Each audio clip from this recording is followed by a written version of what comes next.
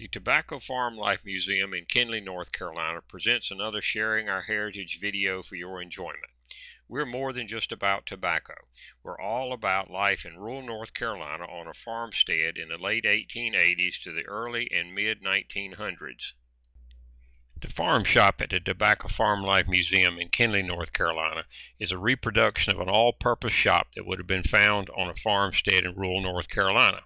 It would have provided tools and equipment for the farmer to make and repair most types of wood and metal items including garden cultivators, wheels, horse collars, and plows. In addition to being able to do woodworking and blacksmithing, having a metal lathe would have been a big plus that allowed metal turning and threading. Similar to what is shown here, the shop would have had a line shaft to power the lathe and other machines. A line shaft was a way to transmit power from a central source, such as an early electric motor, to each machine in the shop. This was common up until the mid 1900s when individual motors for each machine became available.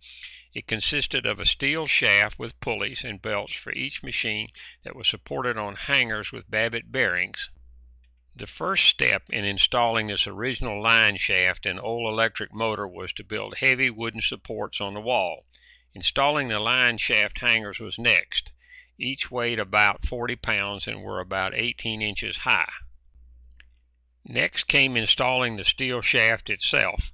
This one was about 15 feet long and one and three quarter inches in diameter. With the pulleys, it weighed close to 200 pounds.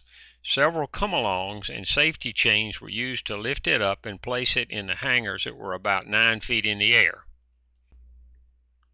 The motor weighing about a 100 pounds was then lifted and placed on this mount, which was also about 9 feet up. Today we'll be working on some of the remaining parts and pieces on the installation of a line shaft here in the farm shop. In the background you may be able to hear the excited voices of some of the kids. We're as a school group visiting today. Since the line shaft will be turning when the motor is started, it is desirable and customary to provide a way to turn off the power going to the individual machines connected to the line shaft. Here the belt still needs to be connected and more on that later. This can be accomplished with a tight and loose pulley. Our first project today will be to install a tight and loose pulley on this uh, intermediate shaft that will then drive the low lathe.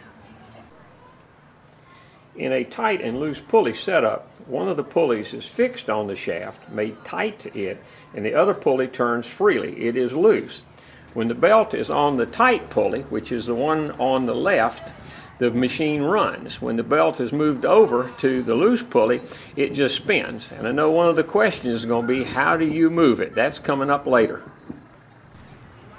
This intermediate shaft with the tight and loose pulleys is mounted to the back wall using a set of pillow blocks. Note the V-belt pulley at the end of the shaft that will be used to then transmit power down to the counter shaft, which then will be used to power the lathe itself. Our next step is to cut the two and a half inch wide leather belt to the proper length. As you can see with the belt on the left, the end has been cut off. Now we need to replace the clipper links which are used to hold the belts together using the machine on the far left and the clipper links that are still in the packaging next to it.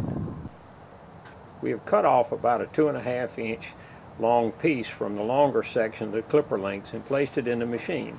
The machine holds it in place so that when we put the belt in, we can use the two arms to push down and clamp the links into the leather belt to hold them in place.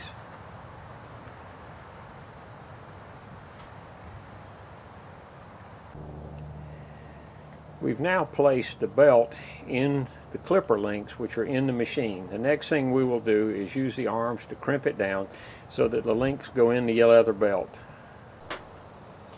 The jaws are adjustable, so the first thing we need to do is to get them down so they're just touching.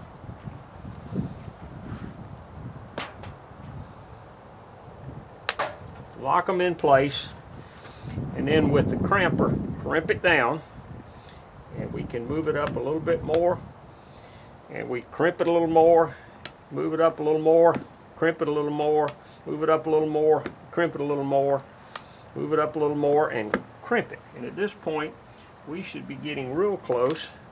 We'll keep on going a little bit here to be sure we have got it all the way down. It's looking pretty good. Just kind of walks itself up each time to get it to the right length. Looks like that's about it.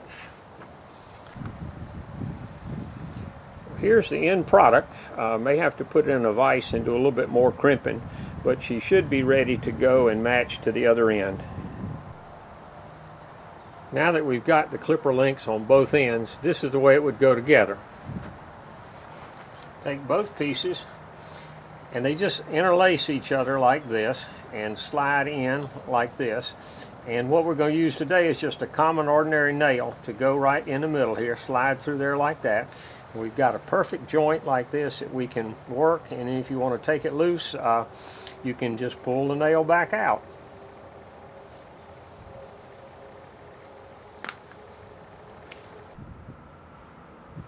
now that the clipper ends are on and the belt's been joined together, we've been able to put it from the line shaft down to the counter shaft down here, intermediate shaft that has our tight and loose pulley on it. So now we're ready to answer that magic question that was out there. How do we move the belt from the tight pulley to the loose pulley? So the answer to the question of how you shift the belt back and forth is you put in place what we call a shifter, as you can see here. Here's a side view of it, a little bit better. It's just hard to see back here in the back. Uh, shows the rod and the mounts and the uh, shifter right there in the middle is kind of a U-shaped piece that would go around the belt. And when the belt's moving, that thing is easy to move it back and forth, um, just natural as it can be. One of the last things we want to do before we uh, actually get everything up and running is to put in place a tensioner here, like as you see the, uh, the piece of wood that's down at the bottom there that's at an angle. Uh, that will allow us to start the motor without uh, starting the line shaft at the same time. That should not put quite as much load on the motor. Once the motor started and running, uh, we could gradually rotate the arm down, which would move the uh, top of the idler up. And on top of the idler, there's a pulley. And at this point, we put more tension on things and the line shaft should start to move.